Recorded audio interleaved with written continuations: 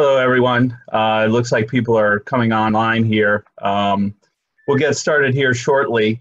Uh, being our first webinar in a series of webinars for the International Palm Society, uh, we have to accept that there are some glitches. And then unfortunately, our, our presenter for this evening uh, went to get his slide presentation ready to go and the infinite wisdom of Apple decided to force an update on him. So he is somewhat delayed. Um, we'll go ahead and chat for a little bit here, and uh, he, he's letting me know how uh, delayed he will be. I may hit pause on the webinar uh, for five or 10 minutes just to give him time to get uh, fully back online and, and ready to present. But I guarantee you that uh, it's well worth the wait. Jason is a, uh, he's a good speaker. His photographs are absolutely phenomenal, and the book is spectacular. Um, I still see people coming on. We're up to uh, anyhow. I see, see participants logging in as as we we speak. Let me let me start with a few, uh, just a little bit of background and uh, preamble, if you will, and then we'll do a little bit of housekeeping. And then I'll I'll give you Jason's background as we get started here. But um, for those of you who don't know me, I'm Robert Blenker. I'm a director of the International Palm Society based here in Southwest Florida. Also a uh, proud member of the Central Florida Palm and Cycad Society, a little plug for, for our local group. Um, as you know, the, the, palm, the IPS's motto is conserve, learn, and grow. We have members on all continents except Antarctica, although I should say that one of our members was stationed there at a research station temporarily. So at one point we could say we had members on all continents. Um, and this is the first and what we hope is a dynamic series of uh, presentations. It's been several years in the making. Uh, we've been waiting for technology to catch up and the unfortunate circumstances of COVID-19, its impact around the region, uh, its negative impact on this year's biennial meeting had the perverse positive uh, effect of making various forms of webinar software such as Zoom and WebEx ubiquitous and easily accessed. So I guess there's a slight silver lining in what has been a difficult situation for many around the world. Um, as I said, I hope this is the first of many such webinars. Uh, in the pipeline, we've got things like uh, Paul Craft's Palms of Cuba. Any of you who have uh, traveled to Cuba and seen the, the diverse and dynamic palm environment there, uh, this is one that's definitely worth seeing. Um, we have spoken with Dr. Uh, Rodrigo Bernal uh, to present the, um, his presentation on the diverse palms of Colombia. It's a fantastic presentation. Um, we have John Dransfield in the mysterious world of rattans. And then other themes we're working on are things like uh, the the use of palms around the world. We have a couple of dynamic speakers on that topic. It's it's amazing how much diversity there is in the, the utilization of palms, both for commercial and agricultural purposes. And then we're also uh, working on finding the most appropriate way to present the uh, cutting edge research being conducted by um, IP, IPS research grantees um, around the world. It's really fantastic, interesting, and dynamic stuff. Um, we've endeavored to pick a time that works for everybody, um, as broad a segment of our membership as possible. Uh, to wit, I'm kind of looking at registrations here and people are signing in. I see registrants from Spain and Peru, Colombia, Brazil. Let's see, we've got Puerto Rico and Mexico. Uh, I see somebody from Crimea. We've got California, Texas, and Florida. I see a few from Hawaii, Australia, New Zealand. I think we even have someone from uh, Madagascar. You know, sadly, it's not always possible to accommodate all time zones without at least somebody having to uh, participate in a very uncomfortable wee hour of the morning. So with that in mind, uh, we'll be recording this event. It will be available on the uh, IPS website. Uh, not sure how quickly we can get that up since this is the first time we're doing this, but I suspect it will be up, uh, you know, by early next week. Uh, it'll be um, broadcast. There'll be a link to our YouTube channel. Um, and to view recordings of the webinar, and then more importantly, to renew or, or join the International Palm Society, please visit us at www.palms.org. Um, a few housekeeping items, and I'll, as soon as I see Jason is ready to go here, I'll cut this short, but uh, he's still waiting for his computer, it appears. Um, so housekeeping, the presentation will last about 45 to 50 minutes. We'll take 10 minutes of official questions at the end of the presentation. However, for those with a bit more time, Jason has graciously uh, offered to extend and continue to answer questions as they come up. To ask questions, um, if you look at the bottom part of your screen, you'll see a Q&A button. Please use that uh, to ask your questions. All registrants will be able to see them and uh, Jason will read the question and then respond to it as, uh, as we go forward. Well, actually at the end of the presentation. Um, now, in my perfect world, as soon as uh, Jason's teed up and ready to go, I will disappear and you will have the main screen will be Jason's uh, slide deck and fantastic photos and you'll see him in, in, a little square up on the corner. You can also minimize Jason so he kind of disappears and you just have the full screen of his phenomenal pictures. I suggest also that you um, uh, try to set your screen to the highest resolution possible because once again, these photos are pretty spectacular. Um, let's see, oh, there's a Q&A already. Let me see if that's for me. oh, we've got Morocco on too as well. Excellent. Um, uh, so let's see. Um, also, if you notice any technical problems, please let me know via the Q&A function and I'll endeavor to fix them. Remember, your guinea pigs, as is Jason, this is the first and what I hope is a, a, dynamic and productive series of presentations that'll truly showcase the international nature of IPS. And uh, uh, thank goodness we have this technology available to us. All right, everybody. Uh, once again, thank you for your indulgence. It looks like we're uh, up and running. There's always a technical glitch. Uh, if there weren't, who would we be? and I, I appreciate the uh, the words of encouragement from around the world uh, of those who have gone through the same thing with their uh, their company web X's as well. So Jason's with us. Let me uh, introduce you to tonight's speaker, uh, Jason Dewees, horticulturalist, botanist, designer, and most importantly, IPS member um, for many years. Uh, Jason's 2018 book from Timber Press, uh, Designing with Palms, earned the American Horticultural Society's 2019 Book Award.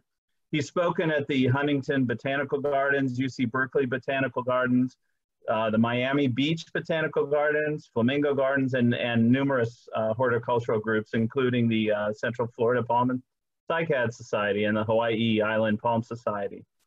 Um, as I said, a member of the International Palm Society Northern California chapter since he was a teenager, which I think was last year, but anyhow, um, in the 1980s, he says. Jason works as a horticulturalist at Flora Grubb Gardens in San Francisco and Grubb and Nadler Nurseries in uh, Fallbrook, California. He serves as a horticultural advisor to, the, to clients ranging from San Francisco Botanical Gardens and Conservatory of Flowers to landscape architects and home gardeners. Um, and I would remind everybody that his, uh, his book, Designing with Palms, is available on uh, Amazon as well as uh, book, I think it's bookshop.com and uh, your, your nearby uh, bookshops as well.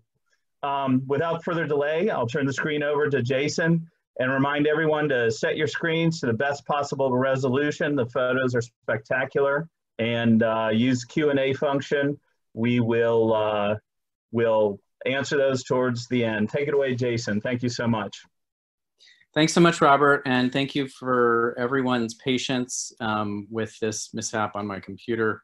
I'm so sorry. Um, I'm very much looking forward to presenting the slideshow. I'm um, showing it out of uh, the iCloud. So right now it looks like it's doing a little download, unfortunately. Um, so again, there's a little bit of a delay and I'm not sure how else to do it. So um, sorry about that.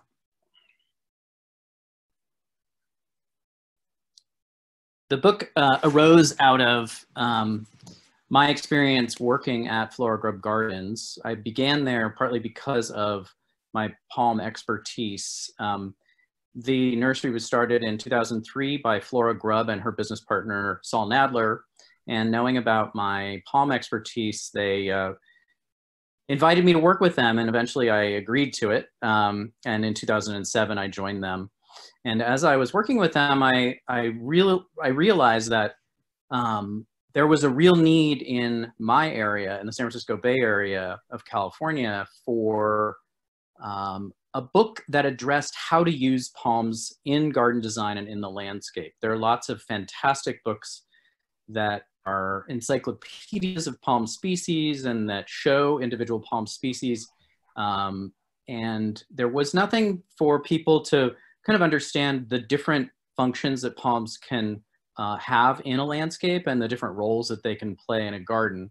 Um, and in many, many conversations with garden designers and homeowners, I was uh, helping them understand these palms that we were selling. We started out as a palm broker in San Francisco and brought up, used to bring up um, palms from Southern California for landscapers and uh, homeowners.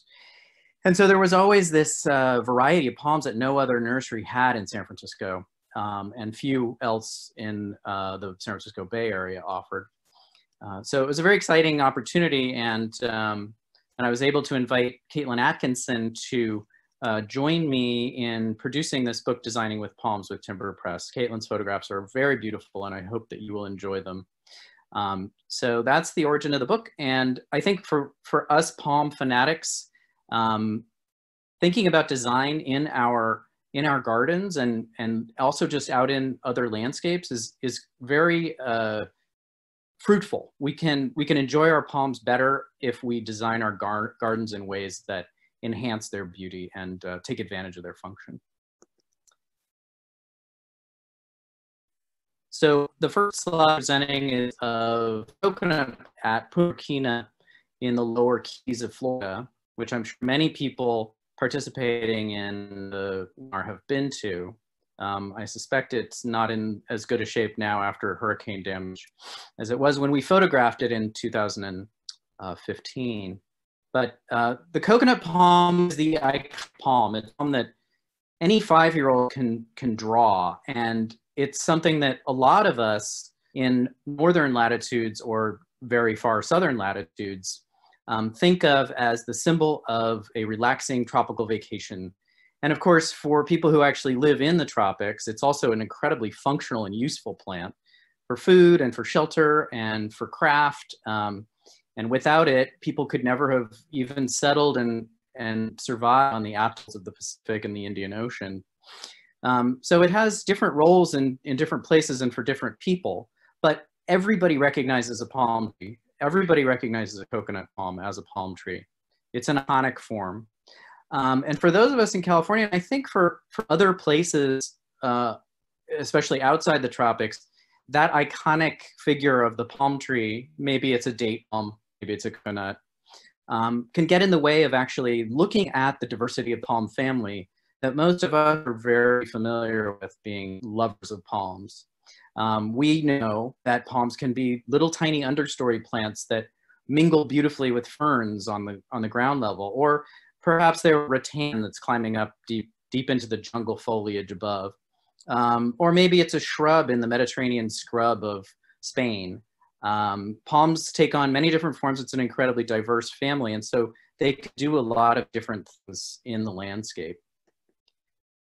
That examination of palm for their features and for their uh, benefits is uh, really important for people to take on, for, for people to focus their eyes on palms and really look at and understand what they're looking at too, so they use them better. Um, and this is true for um, we, we palm people. So here I, am presenting a, a photograph of a painting by Edith Bergstrom, who is a longtime Northern California Palm Society member who gardens on two acres near uh, Stanford University down in the Silicon Valley area. Um, it's a garden with more than 100 species of palms, and it's in a climate that can sometimes reach as low 7 zero or uh, 20 degrees Fahrenheit. Um, so she's had tremendous success with a lot of different palm species. Um, but here we're looking at at the painting that she did um, of desert fan palms down in the desert, low desert areas of, of California. And what I love about this painting is that it shows us quite clearly a palm, and actually more than one palm, but it, it really focuses on the process of decay in the crown of the leaves, of those leaves that have finished their, their photosynthesizing career and, and are dying, dying down. Um, and then showing us those background palms, the vibrant green. Um, her, her painting career has encompassed a lot of paintings of palms and of landscapes. Um, she's just loved the subject for decades and decades, and she's, she's a, a noted artist. She's also um, a noted gardener, so there'll be more photos. For, uh, so when we when we have palms, um, obviously we divide the family into feather and fan. That's a morphological distinction. Isn't completely matched in uh, the the um, the genetics, but uh, on the left, of course, Bismarckia nobilis, one of our celebrated Madagascar species. On the right, uh, a Beccariophoenix, I believe fenestralis. This photograph is shot at Halemohalu, which is a garden in the Puna district of Big Island of Hawaii. Um, this garden was designed by Davis Dalbok, who uh, is partially in resident there and partially in San Francisco. Davis is one of my palm mentors. When I was 17 years old, I learned a lot about palms from him. Um, and I think there are a couple of things to talk about in terms of design here. We're looking at a really dense, jungly planting, uh, lots of different kinds of foliage. Um, we have tea plants, we have anthuriums, um, and we have palms. And it's the palms that obviously draw our, our eye. It's that incredible power of the fans of the Bismarckia, the silver color as well. Um, and then the sort of languid, uh, relaxed movement of the Beccariophoenix on the right is a completely different feeling, but nonetheless, uh, also it has so much energy that the, the foliage impact of palms uh, of, of both these types is unsurpassed. And my friend Roger Raiche, who is a horticulturist and a garden designer in the wine country of California, describes palms as being the superlative foliage plant. And of course, we know that palms have the largest leaf in the, in the plant kingdom, um, so it, it's befitting that they be the most, the, the superlative foliage plant. But besides foliage in this photograph, we're also looking at trunks of palms and we're not paying attention to them as much. They're not drawing our eye. What they're doing is structuring the scene. They're giving us a way of kind of parsing through this dense foliage. And it's, I think, all the more pleasing for their presence.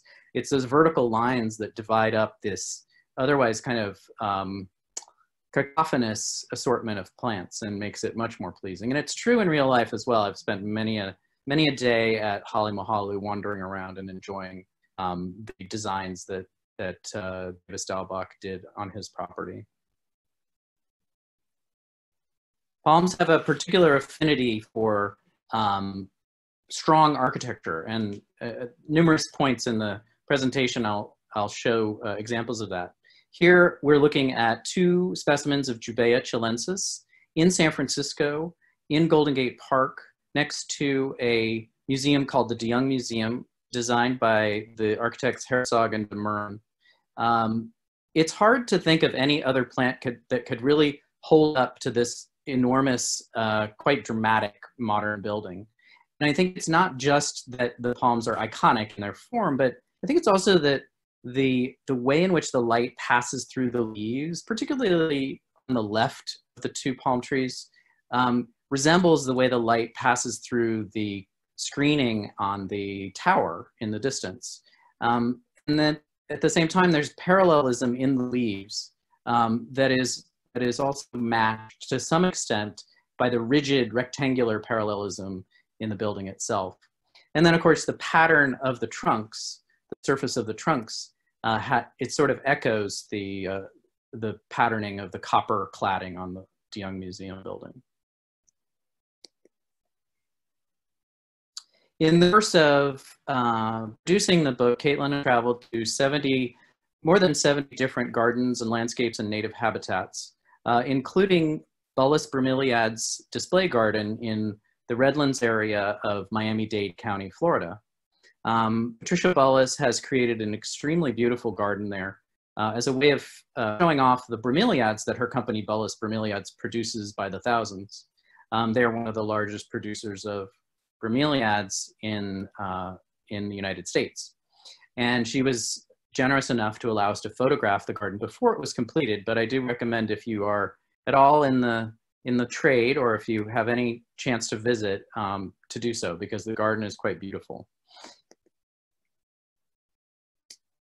She cut into the native limestone there um, and allowed the groundwater to fill the, the um, basin that, that she excavated uh, and then used that excavated limestone to create a sort of platform surrounding the water feature. And of course, she also created uh, waterfall-like fountains um, falling off the, the edge of, of that platform. What's interesting in this photograph is that she used a clumping hybrid phoenix as the focal point of uh, this terrace next to the water feature. And then she placed sable palmettos recently planted here in 2015 um, to emphasize the height of the platform, but also to lean in over the water to make uh, for more of an enclosure. She also planted a grove of poinciana trees uh, or flamboyants, Delonix regia, surrounding it. So you can imagine in early summer, uh, the bloom, the, the vermilion flowers all over these trees. Um, the palms played an important role in this garden, helping her show her customers um, how to use the bromeliads that she sells and just to feature their different qualities. So here again at Bullis Bromeliads, we're looking um, down an axis uh, along the platform. It looks almost like a Mayan ruin. Um, and she's placed these beautiful uh, odorata, the silvery bromeliads in the foreground with some neoregelias contrasting in their own vermilion color, which will um, obviously be echoed in the crowns of those Delonix regia trees. And she has a phoenix, a clumping phoenix to the right, leaning in almost like a, a welcoming uh, host to the party. And then if you look far in the distance down the axis, you can see a row of royal palms on the horizon. So in this flat landscape of South Florida, uh, creating vertical, um, vertical uh, dimension is, is important. And it's, an, it's a helpful, I think, thing to, to have palm trees lining a road out in the countryside to help you orient yourself and to help you keep track of your progress through the landscape. Um, and of course, all you have to do is go up a few feet in elevation to catch a little bit better of a view. And that's what she created here. You can see on the left, a bit closer up on that clump of the hybrid phoenix. I suspect it's a Roebelenii by reclinata or vice versa. Uh, and then some of the beautiful bromeliads that she has planted around. Um, another thing that palms excel at is uh, reflections in water. I'm not sure there's any other plant that's quite so exquisitely beautiful than palms reflected in water. On the right, uh, the, the use of sable palmetto boots or leaf bases as a host for bromeliads. Um, of course, also for ferns and orchids and, other epiphytes. Um, many palm species can be really excellent epiphyte hosts. So another thing that we discovered uh, as we traveled through South Florida is how beautiful the skies are. And this is something I'm familiar with because I um, used to visit South Florida a lot as a kid. Uh, my grandparents lived in South Miami in the uh, Pinecrest Kendall area. And um, I recall during the warmer part of the year, the clouds uh, above Miami were so dramatic and so beautiful, nothing I was used to from California where I grew up. Um, and, and palms can draw the eye upward toward that skyscape that is really unparalleled in my experience. There's just such beauty up in the sky.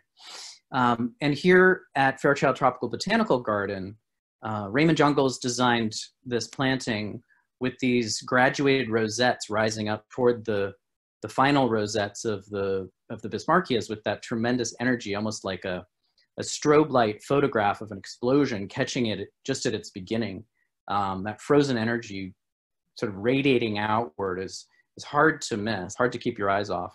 And then with the with the trunking trees rising up above, again, it draws your eyes upward. but I love how jungles use these simple bromeliad rosettes in the foreground and then the more complex cycad rosettes in the midground, uh, the encephalartos, and uh, looks like there might be some dioons here too.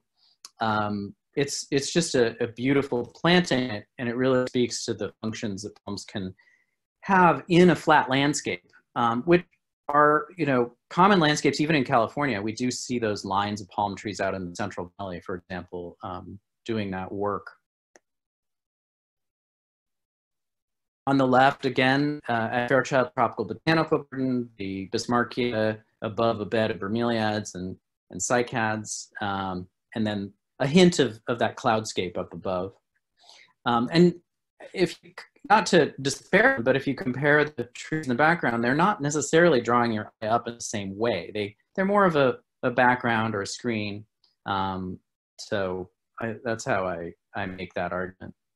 on the right in the Puna Coast, um, which is uh, the big island of Hawaii, coconuts growing up from the, the La rock, um, also drawing your eye upward. But in Hawaii, um, especially on some of the older islands like Kauai and Oahu and um, Maui, there are mountains to see as well. So those coconut palms sometimes draw your eyes up toward Mauna Kea, which is the uh, sometimes snow-capped volcanic peak of um, the Big Island or perhaps to the beautiful fluted cliffs on the north shore of Kauai. Um, so again, that, that function can work in any location. It doesn't have to be a flat location. Here in the mountainous uh, California foothills or, or uh, valley, uh, this is the Huntington Botanical Garden, and this is an alley of Livistona australis, directing view from the, the Huntington's home directly toward the San Gabriel Mountains. Um, and this too is a, a, fantastic function for palms. There's probably no other plant that makes for a better alley uh, than palms. This also is a sort of a, a, representation of a historical style. The, the garden and the uh, house were developed starting in the 19 teens, um, and they represent a, a period of um, exploration and uh, bringing home exotic plants and trees. And, and the Botanical Garden was, was founded during that era as a private garden um, by Mr. Huntington and Mrs. Huntington. So that vertical function can also be very important in very small spaces. On the right, we're looking at a courtyard garden in San Francisco's Mission District in California. Um, this is a very urban area, and this garden brought in, the gardener uh, brought in full-size Washingtonia robustas, Mexican fan palms. And without those trees, I think this space wouldn't feel nearly as welcoming, nearly as pleasant. Um, it might feel a little bit walled in and confined, but what we see here is the beautiful green crowns of, of the Washingtonias, uh, adding some interest up above and also a kind of comforting canopy. In addition to that, of course, as the wind blows, the leaves will make a rustling sound, which is a very pleasing and comforting sound as you spend time out on the patio. Another aspect of this design by Christopher Reynolds is the use of color. Um, it's uncanny that the freshly pruned trunks of these Washingtonias have a, a reddish tone uh, that matches the ipe fence in the background. And both of those will fade at about the same rate to a more silvery gray tone. On the left, um, a subtle example of how beautiful palm foliage can be through a window, in this case, a translucent rather than transparent window.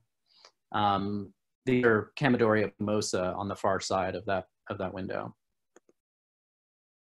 The same garden from a different perspective up above, we look out at the crowns and that's again a very pleasing effect. And what isn't visible in the photograph, but is in that apartment, is other crowns in the neighborhood of other Washingtonia robustas. So in this dense kind of urban jungle, the concrete jungle of San Francisco's Mission District, um, there is a little bit of a connection between this private garden and some of the public uh, street tree plantings nearby. It makes for a friendlier, um, more lively environment. Craft can also function in ways unexpected because we all know at a young you've got to make for it as, as a rosette before it rises upward. This Sabal uresana from the Sonoran Desert in Mexico. Um, this is a very large crown. this is Edith Bergstrom's garden, again, down by Stanford um, in the Silicon Valley area of California. Uh, it might look like this is an obstacle, but in fact, this functions almost as garden architecture. This is almost a, um, a vegetable gazebo. And it's a really cool experience to walk along that trail and just hang out underneath that, that palm crown. Um, the petioles are so long and the, the leaves are so big that it's actually um, a very experience under this rosette phase palm tree. Naturally, it will gradually rise up and, and become a more traditional palm tree shape. So in California, we are uh, blessed to have our own native species, the desert fan palm, Washingtonia filifera, photographed in habitat on the left at what's called the Indian Canyons area next to Palm Springs. Um, in the middle, we are looking at a hybrid between the Mexican fan palm, Washingtonia robusta, and that Washingtonia filifera. That pair of palm trees is Washingtonia filibusta. And then, of course, in the distance in this garden, at, in the center image by Steve Martino, a line of Washingtonia robusta. Steve Martino's garden in the center uh, is also in Palm Springs. And on the side of that garden, he, uh, he redid this garden that already had about 83 Washingtonia filiferas. Steve Martino is based in uh, Arizona, and he tends to use local native desert plants in his designs. His theme is weeds and walls. In other words, plants that people don't necessarily regard very highly, um, that he brings into the garden and allows to be appreciated because of the construction and the color that he brings into the landscape. Um, here in Palm Springs, because the palms are native, he was able to use those to great effect in this garden in Palm Springs. Uh, the rightmost image is Tongva Park, which is essentially the, the central square of Santa Monica, California, which is embedded in Los Angeles, uh, right by the ocean. Um, this is a park designed by James Corner Field Operations, a landscape architecture firm also responsible for the design of the High Line in New York City, the famous elevated park walkway uh, down in the um, Chelsea district of Manhattan. Um, this is a fantastic park, very large, with a baseline design of a meadow, but with lots of different sorts of plants embedded in uh, that theme of, of meadow grasses including palms. Uh, and in this photograph on the right, you can see Mediterranean fan palms. You can see young Livistona australis, uh, the cabbage tree. You can see a Butia odorata, and of course the Washingtonias and the Phoenix canariensis, so, so well known in the California landscape.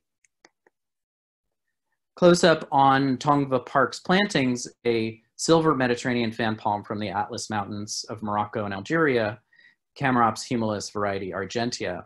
And then again, that little fringe of Livistona australis off uh, in the upper edge of the image, along with a philodendron and um, some other uh, plantings amidst the grasses. That combination of the stiff uh, fan leaves, the beautiful of the palm, the, the soft um, movement of the grass is particularly pleasing. And it's something that Caitlin, the photographer who created these images, um, discussed with me that I hadn't really thought about as much. And um, I, I, grew to love that, that combination of grasses and palms together. Here at the Huntington Botanical Garden in a new entrance garden, um, not just a stone's throw from that, that alley that I showed you earlier, uh, is a grove of Brahea clara uh, from also from the Sonoran Desert. These are from original collections of seed and habitat um, by some of the horticulturists and botanists at the Huntington back in the 70s. Um, when they were designing this, they were able to use these that had been planted uh, in, a, in a sort of undisclosed part of the garden, area not open to the public. And they brought them in to uh, this, this meadow-like planting and, and created essentially a savanna type uh, garden. Um, I think it's a fantastic combination. And when Caitlin and I were photographed Florida, we were lucky enough to cross Miami Naples on Tamiami Trail. And as you get closer to Naples, you pass through an area with hundreds of thousands of palmettos growing above the, the river of grass. And, and that was the first place I'd ever seen um, a palm savanna in real life. Um, so this is a rather different one, of course. This is a much drier context, um, but it works just as well, I think. And then, of course, we have a little uh, Butia odorata in the foreground, and then in the distance, Washingtonia robusta. Uh, that big tree coming up there is um, Agathis uh, robusta, the Queensland kauri tree, a conifer, tropical conifer. One of the things that I discovered in Florida was the view of some, some gravel in a, in a landscape that's otherwise dominated by greenery um, and using that gravel to showcase a collection. And so here, this collection of Coccothrinax species, most of them or many of them native to Florida, um, and also I guess there's a, a there, um, I think is really, really pleasing because most of what you're experiencing at Fairchild is, is quite green. And having a little breathing room like this, um, I think is, is a nice change of pace. And it also features the plants. It allows you to really get the details on, the, on these uh, Coccothrinax and, and Leucothrinax. And then in the distance, this really interesting planting of Livistona chinensis. Um, as far as I can tell from the photo, and I don't remember from being there, they planted in two angles. The, the, the front row uh, leans in and then the back row grows straight up. Um, I would love to be corrected if that's not exactly how it is in real life. But nonetheless, the lean in is, is uh, particularly pleasing. This is one side of the main axis at uh, Fairchild Tropical Botanical Garden. So when I'm talking with palm novices about using palms in design, I also want to convey to palm novices that palms are really important parts of the ecosystems in which they grow. And that's true as much in our gardens as it is in their own habitat. So on the left, we're looking at the inflorescence of a Sabal pumos in Edith Bergstrom's garden, being, uh, being pollinated by and serving uh, the nectar and pollen needs of a honeybee. Um, on the right, we're looking at the desert fan palm at the Thousand Palms Oasis near Palm Springs, where uh, a garland of ripe fruit hangs down um, ripe for the picking. Wherever palms grow, people use them. And in, in the, this is just as true in the deserts of California as it is anywhere else in the world, in the Amazon or in um, Hawaii or wherever in Indonesia. Um, so these are tasty fruits, um, little tiny sweet currant-like fruits with very large seeds uh, proportionally to the fruit. Uh, those seeds can be used for flour. Um, the plants themselves are used for uh, shoes, for thatch, um, lots of different uses. And then, of course, the wildlife make tremendous use of, of the desert fan palm. Uh, they eat the fruit, the, the seeds. They, uh, for example, coyotes or uh, foxes, um, birds eat the fruits and seeds. And birds like the hooded oriole use the fronds to make their hanging nests. A phenomenon we see up here in Northern California as well on ornamental Washingtonias. This is a slide that I tend to show to the novices just to let them know how to identify a palm that, you know, a palm is always going to have a folded complex leaf, whether a fan or a feather shape, uh, or let's say an unfolded leaf. And so a yucca, not a complex leaf, not, not unfolded. Uh, in the left image, that blue sprout in the middle, uh, a yucca rostrata. And on, the right, uh, a Cycas taitungensis, um, in Augusta, Georgia, unfurling its, uh, its new flush of leaves, clearly not a palm because of that funk, the way that the leaves are developing, they're not unfolding and they're, they're coming out all in a big flush. So that's a cycad. That unfolding, I think key to the, the attraction of palms. Um, on the left, two different Ceroxylon species at the Oakland Palmetum, uh, near San Francisco, uh, Ceroxylon alpinum in the foreground and Ceroxylon quindiuense in the background. And then um, on, you can see that unfolding process on the left um, where the spear is uh, right and then the tallest down there on the is in the unfold spear. On the right, we have these entire leaves of Licuala in the foreground and of a Marojejya in the background. Um, on the right, the photograph comes from Halemahalu, Davis Dalbok's garden in Puna, Hawaii. Again, some unfolding underway on the left. Um, that's a uh, Ceroxylon the palm that grows at the highest altitude of all palms in the San Francisco Botanical Garden, which has a nearly complete collection of the genus Ceroxylon at this point. Uh, and then Trachycarpus princeps, um, again, the beauty of those folds, the, the divisions in the leaf, um, the radial energy. Uh, the San Francisco Botanical Garden, where this is growing, also has a complete uh, collection of known Trachycarpus species at this stage, except for one, I think, the newest one. So another thing that's really important to pay attention to when choosing palm species for the landscape, what, what do the leaf bases look like and, and how do they connect to the trunk? For some people, the really complex um, architecture of leaf bases can be a very pleasing aspect of a palm tree, and for others, it can look messy or uh, not very appealing. So that's also important, especially if you're designing for someone else. Um, on the left, the Nikau palm, Rhopalostylis sapida from New Zealand, um, with its crown shaft, its fat little crown shaft, and then subtended by a ripening fruit cluster on the right, and then a budded inflorescence right in the center there. Um, but that, that sort of clean look is, is very appealing to a lot of people, the, the crown shaft palm. And for us in San Francisco, there are very few that actually thrive, and this is one of them. Um, in the middle, a, a Corypha species um, at a garden in the Lower Keys, uh, tended by Design Source.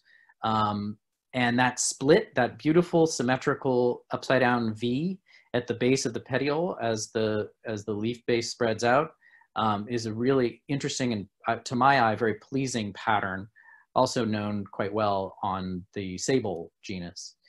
And on the right in Dick Douglas's garden in Walnut Creek, California in the Bay Area, the stubs of leaf bases on a um, yate. Um, again, that, that pattern is, uh, is a really, I think, very interesting pattern. To me, it looks almost archaeological. It has this ancient quality to it. The roots of palms are also an important aspect of a lands. On the left, Douglas's of Washington's with actually believe one of them is actually a Washingtonia filifera and the other two are Washingtonia robusta. Uh, it indicates how closely you can plant palms to each other in many cases, not in all cases, um, and how those root masses interlock with each other. Uh, and again, that creates a, an interesting pattern and texture for people to uh, experience in the garden. Um, in the middle at La Casa de las Palmas, a pair of Socratea interlocking their um, stilt roots. This is absolutely fascinating. When I discovered this, I asked Caitlin to take the photo, but at that point, it was overcast. It was it was late in the um, afternoon, and there was very little light. But she managed to get this photograph. I'm gonna pause for a second to close the window so that this loud sound doesn't bother us.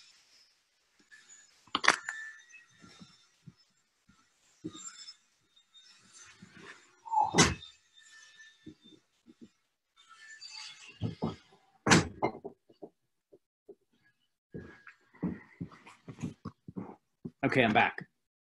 Um, and then on the right, a, an endangered um, uh, I believe it's Williamsii at the Fairchild Tropical Botanical Garden with its pattern of roots as spines growing out of the stem.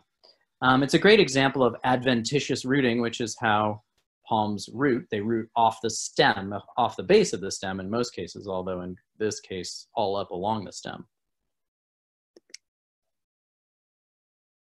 Comes as a surprise for a lot of people that there are some palms that branch above ground. And of course, uh, is the most famous genus that does this. Uh, the photograph on the left is a Hyphaene at Fairchild Tropical Botanical Garden. But that singular form on the right is the classic palm tree form that people seek. This is a Livistona australis, again, at the Huntington Botanical Gardens. There's really no better vertical element. And I, I know I can say it a hundred times, but um, the way that that vertical element activates the volume around it is um, it's hard to beat. It, it really turns the, the space up above into part of the garden. So some of the functions that people don't think about, I think even we Palm Society people don't think about so much, uh, include ground cover. Oops. Um, so a uh, clump of Chamaedorea stolonifera at uh, Lotusland in uh, Santa Barbara, California, forms a sort of hip-high ground cover for this area. Uh, and then shrub and bamboo type uh, functions in the landscape can be fulfilled by some of the Chamaedoreas and many, many other palm species in genera like Rhapis. Uh, so on the right, we have Chamaedorea costaricana intermingled with a tree fuchsia at the San Francisco Botanical Garden. And of course, the climbing palms, um, we don't use them much in our landscapes because they are so fiercely armed um, but they do offer some curious interest, especially as young plants, I think, when you can really look up close at the, at the spines.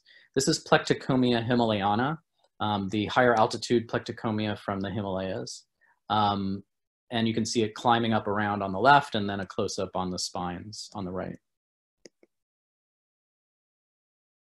Again, these, um, these functions of bamboo and hedge uh, this is Chamaedorea microspadix in a garden designed by Davis Dalbok in San Francisco.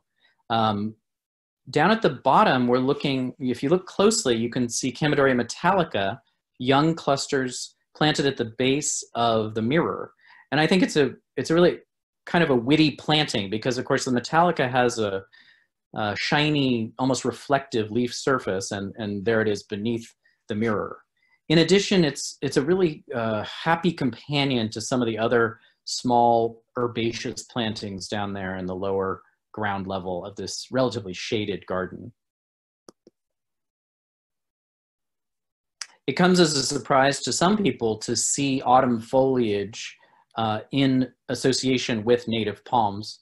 Uh, but here again, near Palm Springs, we see Washingtonia filifera growing in habitat in December uh, with trees that naturally lose their leaves in the late fall um, and drop them. And so these deciduous trees include the California sycamore on the right, and then we have a cottonwood or a populus species in the center, and willow species as well. So part of the goal of the book is to expand people's ideas about what's what's okay to plant with palms. Uh, because palms grow in so many different kinds of habitats, um, I think it's great to use them in lots of different garden settings. And uh, I don't think we should be shy about using them with winter deciduous trees um, where appropriate. And uh, this example does surprise some people because a lot of Californians think of palms as exclusively tropical plants or as plants that signify you know, a tropical atmosphere or maybe a, maybe a desert oasis atmosphere. But this is indeed a desert oasis, but it's also a, uh, you know, semi-deciduous riparian woodland. So that's the, that, that slide uh, showed the palm that's native to the state of California. In this slide, I'm showing you Brahea edulis, which is a palm from Guadalupe Island, um, west of Baja, California. It's about 200 miles from San Diego, California, out in the Pacific Ocean. It's the westernmost bit of Mexico, and it's a biosphere reserve. Um, this palm actually is better suited to a lot of coastal California than our native fan palm. Um, and this is a really a beautiful planting of it at Lotusland, uh, Ganna Walska Lotusland, one of California's premier public gardens um, near Santa Barbara, California. Um, it's a palm that will tolerate our Mediterranean climate. In fact, it basically requires it. Um, it's, it doesn't do well with hot, wet summer conditions. Um, prefers cooler winters and drier summers. Um, tolerates really beautifully. It doesn't get terribly tall and uh, it, it plays well in a, in a small residential garden. And it's a good companion to California native plants. Uh, in habitat, it grows with a lot of the plants that we Californians are familiar with from our native landscapes, both planted and wild. That combination of native and exotic or exotic looking and truly native um, is achieved in an unparalleled way at the Naples Botanical Garden on the west coast of South Florida. Um, the garden is embedded in a larger area of restored native habitat, shown here in the distance, the slash pines, the palmettos, and the saw palmettos. In the foreground, the native uh, Florida royal palm, uh, Roystonea regia, uh, planted in, in greater density because we're closer to the heart of this garden, which is highly structured, exotic, and very uh, botanical garden-esque. Um, it's a really beautiful integration of a, a, an exotic botanical garden and a native habitat. And it's something for us, I think, as um, palm people to think about when we are considering how our, our garden relates to our neighborhood, how it relates to the natural habitats around us. Um, are we taking care of those natural habitats by our, our places? Um, are we taking advantage of borrowed views? Um, there's, I think it's a really interesting question. How, how does our garden integrate with our neighbors? Maybe we hand over the fence some of our favorite durable palms uh, to incorporate some of some of our favorites into their distant view. And then maybe something that that they grow that we like we can incorporate it into our own. Again surprising to californians eyes and, and maybe even to other people's eyes uh, the combinations of Sabal palmetto with the um, southern live oak quercus virginiana in the right image and with uh, loblolly pine and virginia creeper in the left image this is in south carolina at Kiawah island which is near uh, Charleston, South Carolina. Um, this is this is the state tree of the state of South Carolina as well as the state tree of Florida. Um, and this is how they naturally grow in habitat. And so pines and palms and pines and oaks are a perfectly suited combination. In fact, that Guadalupe palm I showed you earlier grows in its island habitat with native pines and native oaks as well in Charleston, I was really pleased to see that the use of palms is is rather nonchalant, and and palms are not treated as necessarily an icon of a getaway or a tropical vacation, but as part of a, a natural palette. Um, I loved this planting because uh, the middle of Charleston is a very historic district. This is a federal style house, um, meaning it's either from the the early part of the 19th century or it's mimicking a house from that early period. Um, so it's very historic in appearance uh, and it incorporates a traditional boxwood hedge in the foreground and then the riotous energy of the native saw palmetto behind it with the more formal um, energy of the Chinese windmill palm of the Nertrigge cartooneyi. Um, this combination of formal and energetic uh, succeeds beautifully in this basically public planting. It's right along the sidewalk. We discovered a garden in the middle of Charleston, um, poking our noses over a beautiful brick wall to see into this exquisitely designed garden by Robert Chestnut. Uh, we saw these pindo palms, Butia odorata, occupying the corners of garden rooms. There were several of these rectangular garden rooms. Um, in the left image, what I really like is how Robert Chestnut chose jets that, that flow into the pool that whose arch mimics the arch of the Butia odorata leaves. He was able to source matched heights and matched colors on, on these Butias, which is quite a feat. Um, otherwise, the plant palette in this garden is rather traditional uh, to my eye. Boxwoods, iceberg roses, uh, Trachelospermum, jasmine, and southern magnolias and podocarpus. There's a longer story behind this. We, we stumbled upon it. We, tr we tried to um, ring the doorbell. We couldn't reach anyone. And um, in conversation with uh, one of our contacts, he told us, oh, I think I know the owner of that garden. And eventually through a friend of a friend of a friend, um, he was able to get in touch with the owner and the owner graciously allowed us to photograph the garden. uh, later on that day. So the, there's a sort of design axis to think about. On one end of the axis is the use of palms for their symbolism, for the power of the stories that they bring, the feelings that they generate, uh, sort of the stereotypes that they that they um, support. You know, the tropical vacation, the desert oasis. Um, the, those are some of the stereotypes that we, at least in California and perhaps the rest of the U.S., um, are used to with palms. Um, but palms are really effective design elements regardless of the stories and the feelings that they evoke. And so on the left, uh, a garden by Roger Raiche in the, red country, uh, the redwood forest of Northern California uses palms and succulents and deciduous trees and shrubs and conifers um, all together as if they were paints in a palette and he was creating a, a scene without a tremendous regard for the backstories on the individual plants. He's not saying to us, this is a tropical garden, or this is a redwood forest, or this is a Japanese garden. None of those things is he saying. He's saying, I can create an individual uh, special thing, a, a, a, a living sculpture, a living painting, using whatever plants I want as long as they grow well together. Um, and they, of course, look beautiful together. On the right, we are looking at a garden in the East Bay of San Francisco that, uh, of the San Francisco Bay Area, excuse me, um, that draws in uh, the images uh, that the palms provoke or evoke. So uh, the architectural element in the foreground is a screen door from Morocco.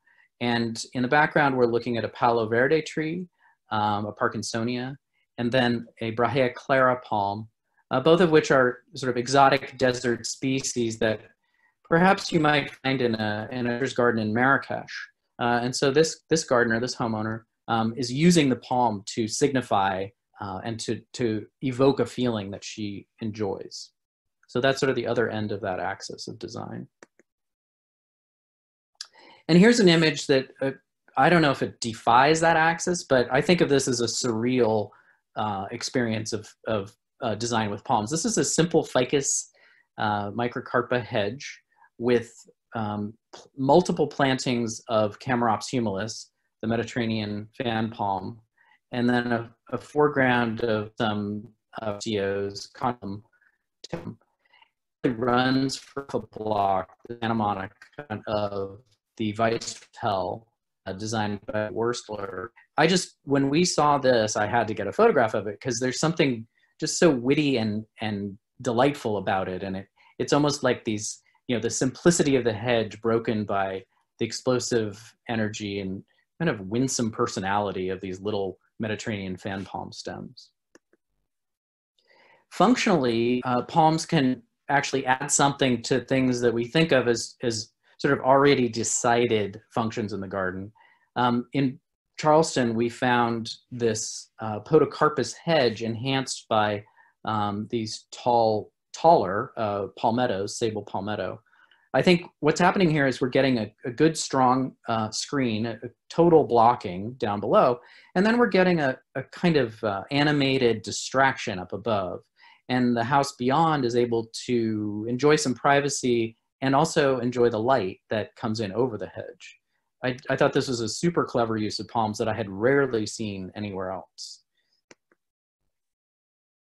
And of course, that, that transition from uh, rosette to tree um, is an important thing to consider when we are planting our palms and choosing the spaces uh, where we're going to put them. This is um, Flora Grubb's garden in Berkeley, California. Um, the image on the right is an earlier image uh, when she planted a uh, Brahea clara uh, from a 36 inch box. It was a, a, rosette at that point, and she pruned up some of the lower leaves so that she could get in around the palm to garden. On the left, the garden has grown a bit. It's, it's established its trunk. It's got about four feet of trunk at this point. Um, and she was able to put in a little tiny lawn underneath, some chair, enjoy the sounds of the leaves above and the, the shade and the sense of comfort that that canopy provides. And of course, there's more room to plant underneath, so it expands the creative possibilities. This is a rather small garden, but this is a nice, big, beautiful element that actually makes the garden feel bigger because of the large scale of the leaves and the crown. So here at the San Francisco Botanical Garden, uh, we're seeing the rosettes of Jubaea chilensis, the Chilean wine palm. Um, this planting is a little akin to the one I showed you from the Fairchild Tropical Botanical Garden. Um, it has the simpler rosettes of bromeliads in the foreground, in this case, terrestrial bromeliads from Chile in the genus Puya. Um, and then it's got the, the parallelism, the, the sort of Venetian blind effect on, a, on an arching rachis of the uh, Jubea rosettes. And then the, the much more irregular and jagged uh, silhouette of the Monterey cypress in the distance and the eucalyptus toward the left. And of course, these are going to grow up and they're going to produce their trunks and they're going to make space under them, but they're also going to draw the eye upward. Uh, this is the blue garden at Lotusland um, in Santa Barbara, where Madame Ganna Walska, the, the creator of, of Lotusland, um, chose plants to create a blue garden. in other words, she wasn't she wasn't saying I'm creating a dry garden or I'm creating a um, you know a, any other kind of stereotype garden. Um, she was creating a blue garden, and so she, tro- she chose blue plants, and she she had a, a flair and a, and a flamboyance, uh, and was drawn to these really showy, attractive, um, exotic looking plants. And so she brought in these agave franzosinii, which are quite large and, and very blue and silvery. Uh, and then, of course, the established Jubaeas, the Chilean wine palms that had actually been planted by one of the earlier owners of the estate. Uh, Brahea armata, the Mexican, what we call the Mexican blue palm that's native to northern Baja California. Um, and then the blue Atlas cedar, native to the Atlas Mountains of Morocco and Algeria. In the distance, that beautifully branched tree is the coast live oak, which is the signature tree of the coastal zone of California, running from northern Baja California up to the wine country north of San Francisco. And with the low water needs of, of all of these different plants, um, that native tree is, is able to thrive. Another consideration for the use of palms in the landscape is what's going to happen to them over time. Of course, most palms are, are just, if it's a palm tree, they're just going to keep going up and up and up. Uh, they may slow down in their vertical development, but but that's sort of the, the story of most palm trees. But of course, with caryotas and, and some other closely related uh, members of the, of the family, we have to think about what's going to happen to that tree once it starts to bloom and set fruit and then die because um, they are hapaxanthic or what we sometimes think of as monocarpic. They, they bloom and they die. So you have to sort of budget for the removal of these large elements in the landscape. Uh, the tree on the left, the Caryota obtusa or Caryota gigas um, at Halemahalu actually recently started to bloom and had to be removed. so, um, you know, it, it, it, can be a costly, laborious process, but, but it's worth it for, for some people to have that extraordinary uh, bipinnate foliage and just there's nothing like it. Almost looks free fern. On the right, a, a photograph of a Caryota urens Himalayan variety um, at the San Francisco Botanical Garden in the process of blooming. Um, it's it's down to just a bunch of inflorescences and decaying foliage at this point, and infructescences as well. Uh, just so for my part, I, I'm thrilled to see that um, in the San Francisco area, palms are being used more frequently. Um, in some very high profile projects, I was lucky enough to go on the 2018 biennial and see in habitat the tallest palm in the world, Ceroxylon quindiuense, um, at Tochecito Valley, where I took these photographs. These are not Caitlin's work. They're not nearly good enough. Um, in any case, it's exciting to see that there is some uh, awareness that palms don't have to be uh, symbolic of the tropics or symbolic of an oasis or whatever else um, they can just be really beautiful elements in a, in a landscape. And here another species that is very useful for us in the very cool, uh, mild climate of San Francisco, Parajubaea cocoides, photographed at the Bogota Botanical Garden in 2018. And here they are in Oakland at the Lakeside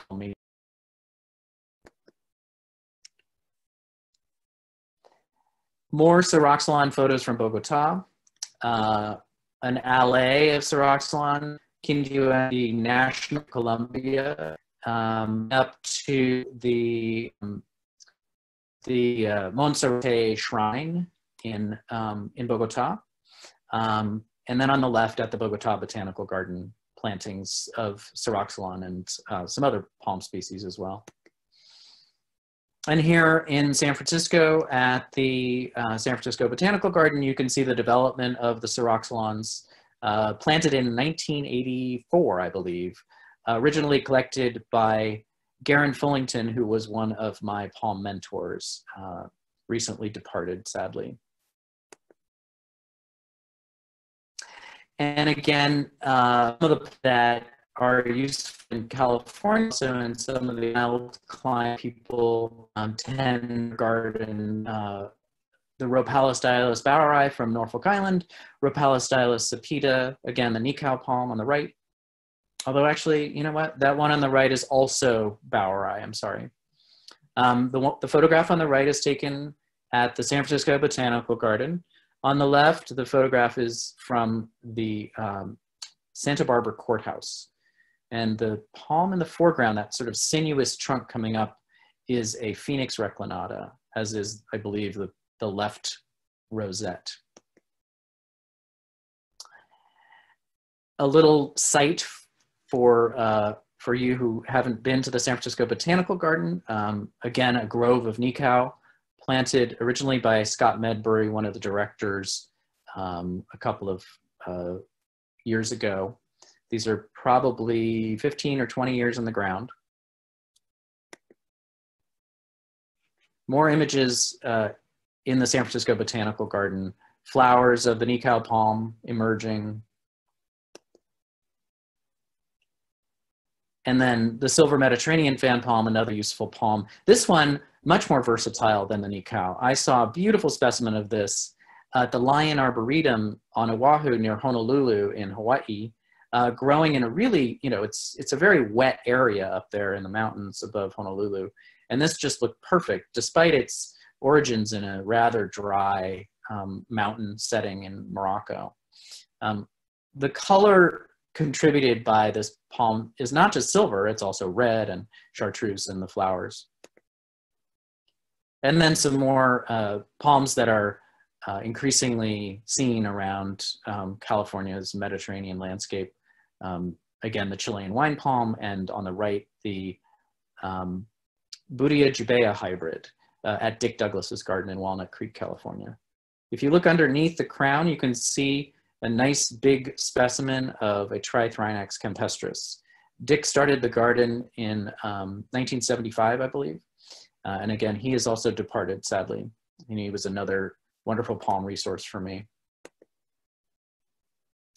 Palms can even be used in rather cold climates um, beyond the Mediterranean or um, sort of subtropical areas, but actual temperate areas. On the left, the native needle palm of the southeast United States, Rhapidophyllum hystrix, also useful down in the tropics, or at least in the subtropics of Florida, um, but a good foliage plant and incredibly cold hardy. Um, as we know, it can be grown where uh, winters get rather snowy and cold.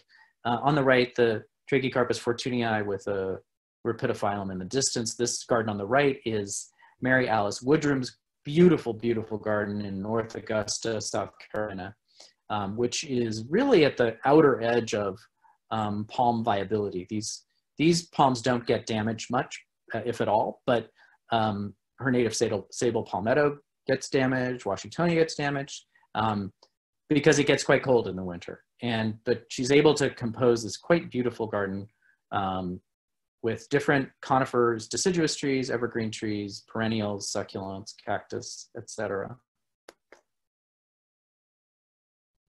Again, Trachycarpus princeps, perhaps the most attractive member of the dozen or so species in the genus. Trachycarpus wagnerianus, which is a cultivar of Trachycarpus fortunei, with a, a tight sculptural leaf, again, quite cold hardy, cherished in the Pacific Northwest of North America, uh, useful in Japan, seen all over Tokyo, um, and uh, uh, quite a nice palm for California as well. This is Mary Alice Woodrum's garden in North Augusta, South Carolina, uh, to give you a sense for the feeling of that, of that landscape and, and the use that the palms have. So this is a really great example of palms not taking center stage. Uh, palms are not the story of this garden. It's a garden composed of many different kinds of plants and trees uh, with palms as accents and uh, little focal points uh, here and there. She uses the humble Sabal minor, the native uh, ground-dwelling Sabal from South Carolina, as well as Florida and uh, all the way over to Mississippi, I believe. Actually, no, I'm sorry, all the way over to Oklahoma and Arkansas and East Texas. um, and then on the left, a water feature at Mary Alice's garden um, with a, some trachycarpus sort of up above, increasing that vertical experience. This is Edith Bergstrom's garden, where she composes again the way that Roger Raiche does with whatever plants she loves that grow well together, that look good together. Um, plants as paints in a palette. So uh, the columnar cactus is Echinopsis spachiana. The palm on the right is a supposedly a Butia odorata. I, I, am not sure. and then in the distance, you can see Livistona decora, the ribbon palm, which is uh, really an exquisite, fast growing, and a surprisingly cold hardy palm. Uh, and then in the midground, those fan palms are uh, Brahea, I believe, Iliada. All the possibilities, uh, especially with hardy palms. But I think the lessons that we learned on our travels through Florida, Hawaii, South Carolina, Georgia and California uh, can inform people all around the world, whether you're in a tropical place, a subtropical place, or a mild temperate zone like a Mediterranean climate. Thanks so much for your time, and uh, I would love to talk further over Q&A.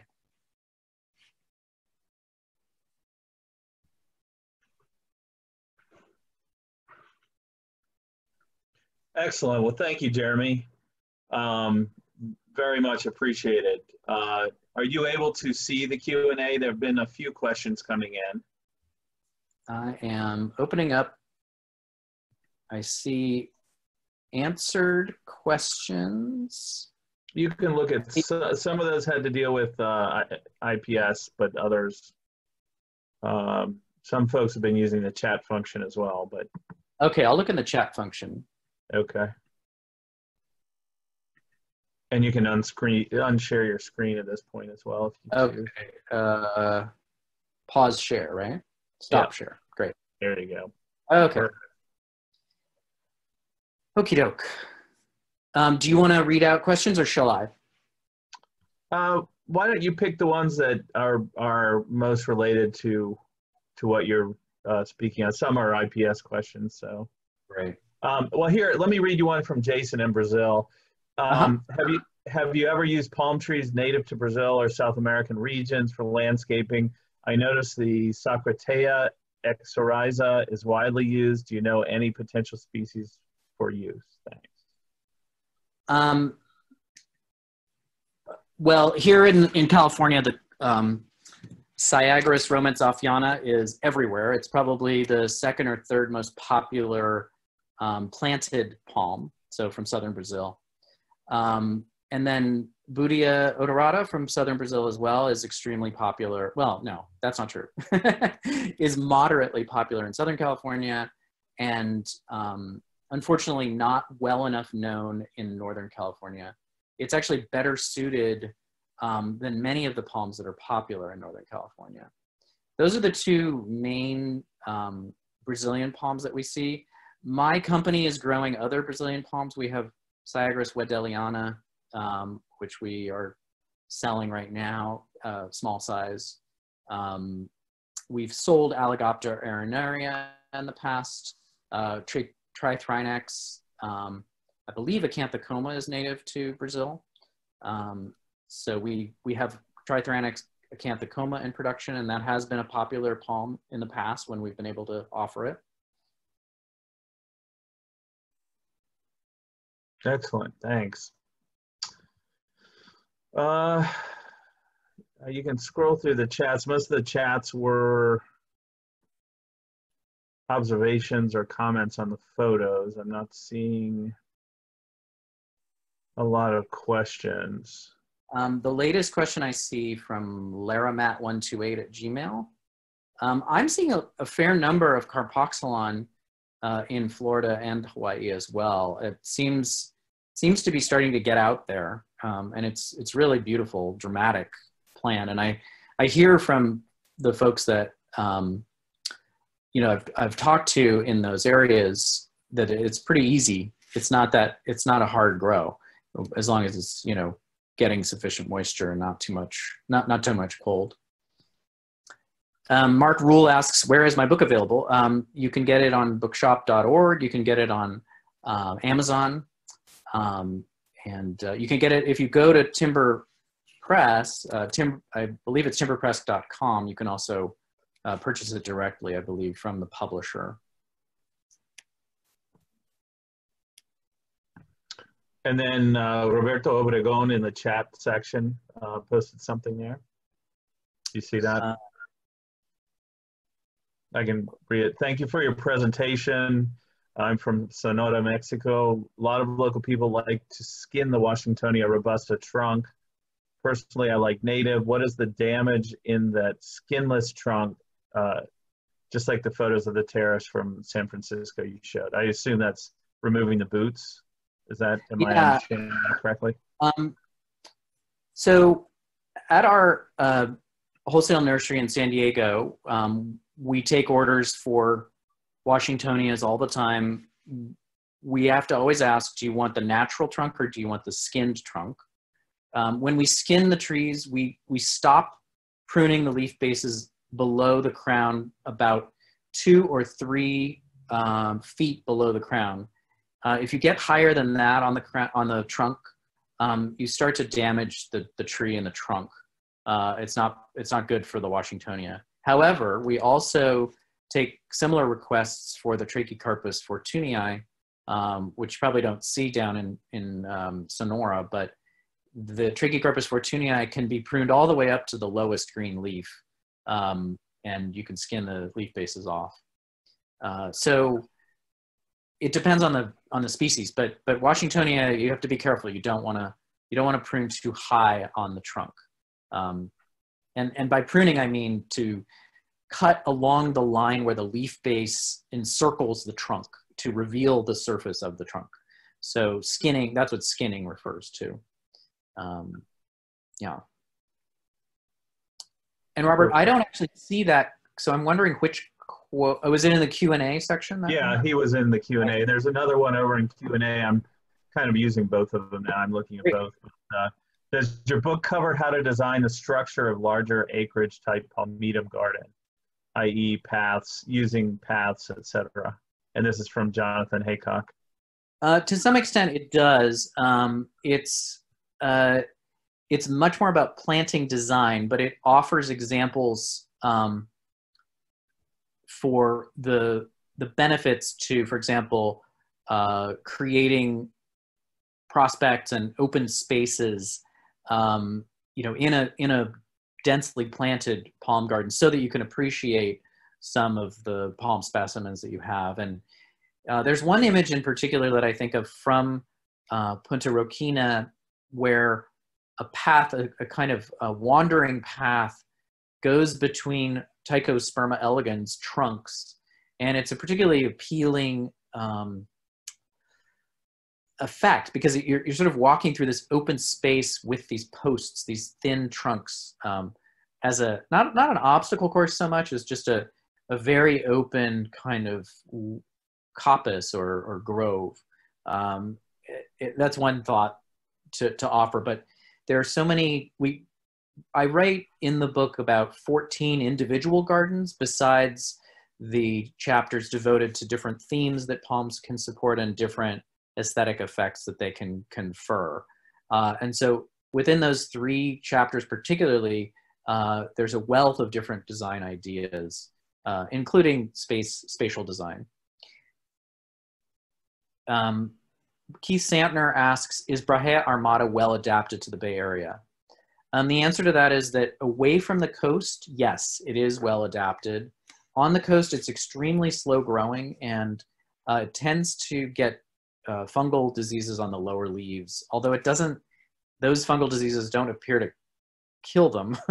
um, so they, I would say, you know, if I have a customer in San Francisco who wants to grow a Brahea armata, and we do sell it, um, I, I ask them whether they are able to give it full sun, whether they are able to give it really good drainage. And in such cases where they can, then I, I'm perfectly comfortable selling that, that palm to them.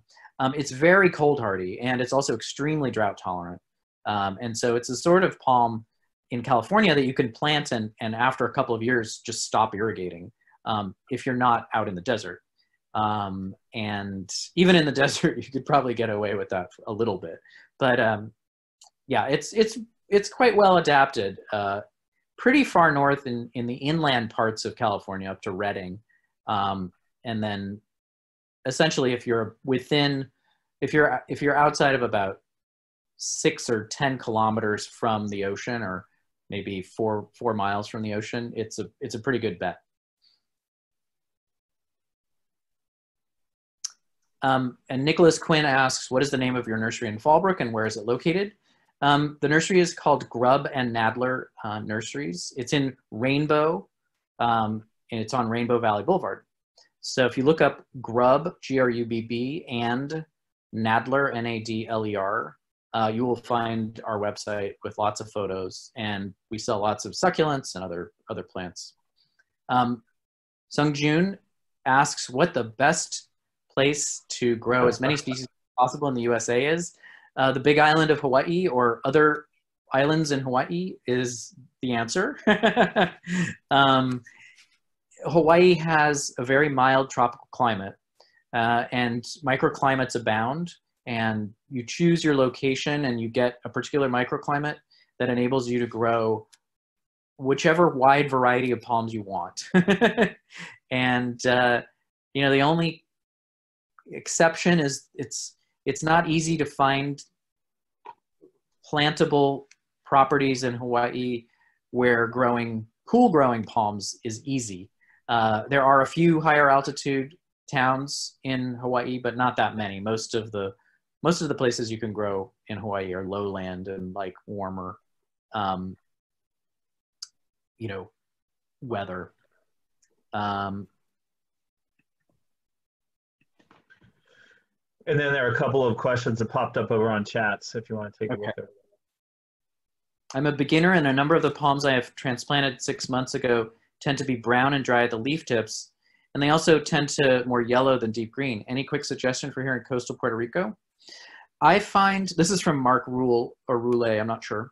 Um, I find that palms definitely go through different symptoms of shock upon transplanting. And one of the common most symptoms is um, they, they show uh, nutrient deficiencies on the older leaves after planting. And in some cases, uh, for example, a friend just planted an Acanthophoenix crinita. Even the new growth will go through a um, what appears to be a kind of nutrient deficiency after transplanting. Um, and then the drying of the leaf tips has probably more to do with just the loss of root mass um, or the damage to roots upon planting.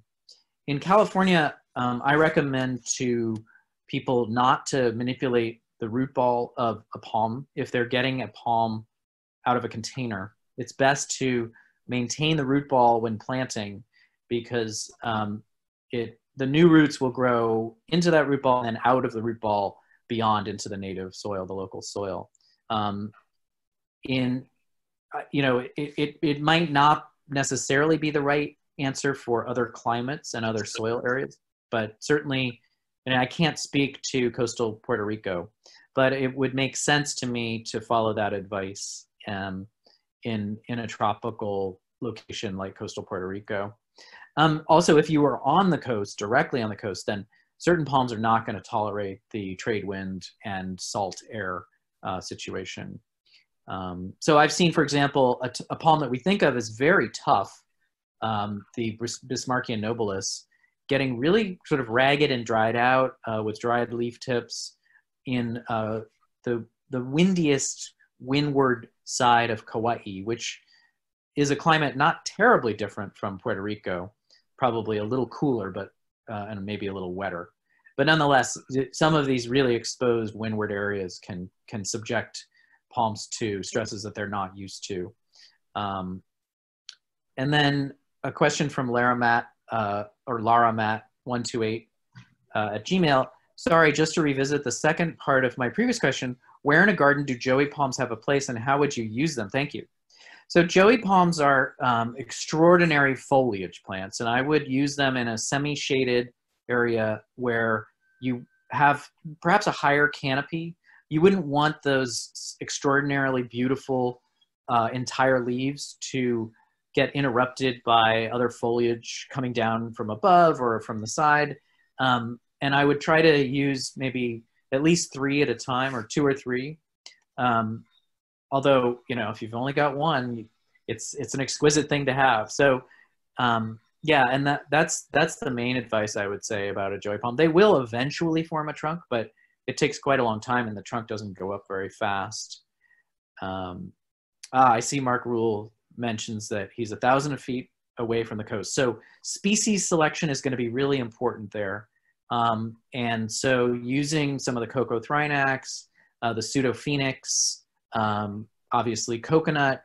Um, those are going to be good bets for you uh, for palms right by the coast, uh, especially if you're on the windward side. But I suspect any side, if you're that close to the ocean, is a place where you're going to choose plants adapted to a coastal setting. You know, a plant that I don't see that much in gardens, it's so beautiful, is um, arenaria, the palm native to the coastal dunes of um, eastern Brazil. It's a beautiful, beautiful foliage plant. It also produces really pretty inflorescences and edible fruit. Um, that's a uh, if I had a if I had a sandy soil on a tropical coastline, I would plant tons of that palm. I think it's exquisite. Um, Serenoa repens from the southeast U.S. is a great coastal palm. Um, some of the Sabals are good coastal palms, uh, Sabal palmetto for one. Um, probably, I, I, can't speak to it, but I suspect Sabal causiarum, your, your native uh, Puerto Rican sable is a good one. Uh, but I'd have to rely on, on local experts on that one. And then Jason, why don't we wrap up with Martin's question over in uh, the chat section? We'll take uh, one more question and then we should probably, running a bit over here, we should probably start wrapping things up. Martin Ferris, I live in San Angelo, Texas. We have gotten down to 10 degrees several times since I started my collection of palms in 2007. Brahea armata has never been damaged here. Not unusual for us to stay below freezing for four or five days straight. I actually grow nine species of Brahea and 60 species total outdoors, completely unprotected. So I love this kind of information. This is the best. So Brahea armata comes from uh, canyons on the east side of the mountain range in northern Baja California. It's a really hot, extremely dry desert. And they grow in the same habitat as the Washingtonia filifera, which is known to be one of the more cold hardy tree palms. Um, they happen to grow a little higher up away from the water courses than the Washingtonia filifera do. And um, it's a pretty extreme environment. And you can imagine some of these mountains get all the way up to about 10,000 feet above sea level. Um, and the, the canyons down below draw cold air from those higher altitudes. And I wouldn't be surprised if in habitat, the uh, temperatures drop down into the 20s uh, infrequently, but, but once in a, in a blue moon. And these these two native palm species, the Brahea armata and the Brahea, I'm sorry, the Washingtonia filifera, would have to endure pretty low temperatures in habitat from infrequent cold snaps. Um, that I don't think they reach above about 3,000 feet in altitude themselves, but it's that drainage of cold air from the higher altitudes that is probably responsible for the, the inherent hardiness of those Brahea armata. Now, as for the other Brahea species, I mean, it it's um, perhaps just genetic heritage that it allows them to be so cold hardy. And the same is probably true for some of the Sabal species. It's known that Sabal causiarum and Sabal domingensis both have different kinds of cold hardiness uh, that would be surprising given that their habitats are eh, totally tropical, or at least, you know, causiarum especially, because it's a low altitude species. Um, so you might want to look into some of those Sabals that you might not already have. Um, but boy, 10 degrees, that's impressive with no damage. It's great, great to hear. I think your heat also helps and the, um, the variability of your winter. So you might have a, an outbreak of four or five days below freezing, but then within a, a couple of weeks, you're also going to probably see temperatures back up at 20 degrees Celsius, say 68 degrees Fahrenheit, or even higher. Um, I, I, can't vouch for that, but that's what I've seen watching the weather, um, where you know the continental masses blow out over Texas, and then the some of the tropical moisture comes back in and warms things up again. Um, and Robert, did you want to uh, oh, do any last questions, or should we wrap up?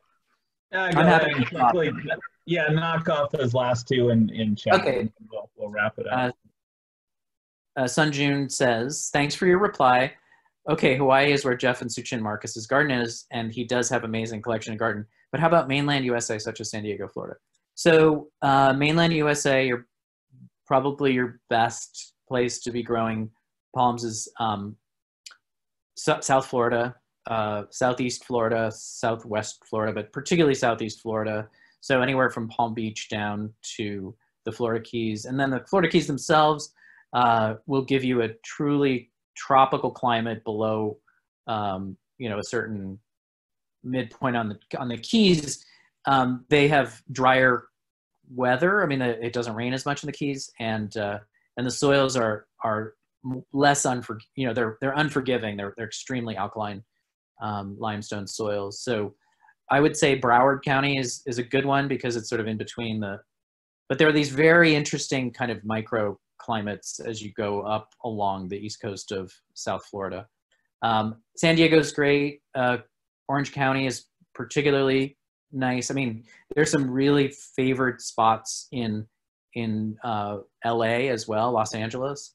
Um, but when when I would say as a Californian, your microclimate is is important. So once you get down into those coastal Southern California areas, um, you you have to pay close attention to the topography and the uh, experience of other gardeners in those areas. Um, but certain areas right along the coast can be completely frost free, and um, and if you're lucky, they can accumulate a little more heat than some of the other areas. The coastline is cooler than the inland areas of South Florida. Uh, Federico Carnazza says, many thanks for the lovely conversation. Could you please spend a few words about the state of art of RPW and palm moth control, which are continuing their palms destruction in the Mediterranean area? Thanks. This is something I don't know anything about in the Mediterranean. I can tell you that in Southern California, the South American uh, palm weevil has uh, entered southern San Diego County and is progressing northward and is devouring Canary Island date palms in particular and poses a threat probably to uh, other palm trees or other palms in, in California.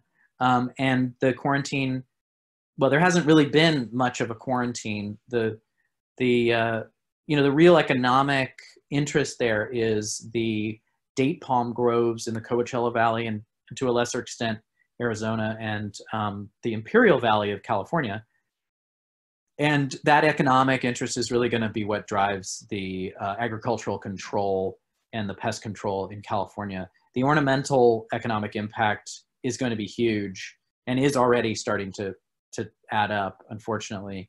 Um, but unfortunately, I can't tell you about the red palm weevil in the Mediterranean. I, I've not been to the Mediterranean since I uh, started working on the book, and um, and I'm not in touch with with any experts in the Mediterranean basin about pest control there, unfortunately. But I hear it's a sad situation, and um, and I I hope that that same situation doesn't arise in in California from this South South American uh, palm weevil.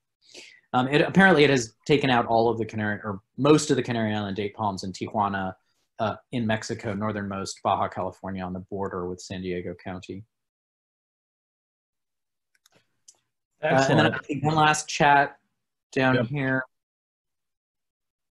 about some local um, questions. I guess I'm not understanding, so sorry.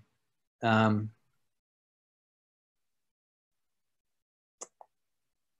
Nikki Sanders, okay, Santa Monica better than Central LA then?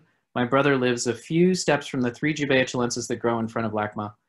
Um, so mainly in terms of microclimates in Los Angeles, if you're on a slope and um, especially if you're south of the Santa Monica Mountains, um, you've got a really enviable climate. Um, Hollywood Hills, uh, Beverly Hills, um, uh, Los Feliz Hills, uh, Silver Lake, uh, Echo Park. These are very warm areas with really good cold drainage and urban heat island effect. Um, so you can really grow remarkable, a remarkable range of, of palms in those areas. Um, I've seen veitchias looking decent. I've seen, you know, there are lots of plumerias thriving in that area. Um, mangoes fruit well over there. Um, and then, so Santa Monica better than Central LA. Santa Monica is milder, so it's probably less subject to frost. But as you go farther on the flats of LA, away from the ocean, you get more frost. Uh, but it's not a lot. It's rare. It's extremely rare. Um, and then, yeah, I think that's all I can offer. Excellent. Jason, thank you so much for being so generous with your time, um, especially for these questions. I think people have uh, gained enormously from your commentary. Remind us all where to get your book. Ah, well, you can get my book at um, bookshop.org, uh, Designing with Palms. And uh, it's Jason Dewees, D E W E E S. You can also go to Amazon, uh, again, Designing with Palms. Um, and you can also go to timberpress.com um, or just Google Timber Press, Designing with Palms. Even if you just uh, Google Designing with Palms, you will find a website from Timber Press with information about it. Um, and you can buy from them. You can buy from Amazon. You can buy from Bookshop. Uh, you can you can order it from your local store through bookshop.org, which is one of the reasons I, I like to plug it because if you do have a local bookstore that you want to support, um, that's one way to do it is to order through bookshop.org. Fantastic. I'm hoping we can uh, invite you for a second appearance as your work progresses and evolves. And once again, thank you all but thank you for your time and your, your generous, your ability and willingness to share with everybody. And for all the participants, remember uh, the recording will be available at www.palms.org. And uh, don't forget to join or renew your membership in the International Palm Society. And keep, uh, keep your eyes open for follow on. We hope to have a, a robust series of webinars to follow. And once again, thank you for everyone's indulgence in terms of the, the technical issues. But, uh, you know, like all, we're suffering a few teething pains, but I think it was absolutely well worth the wait. Wait. Thank you, everyone. Appreciate it. Thank you, Jason. Thanks so much, Robert. See you.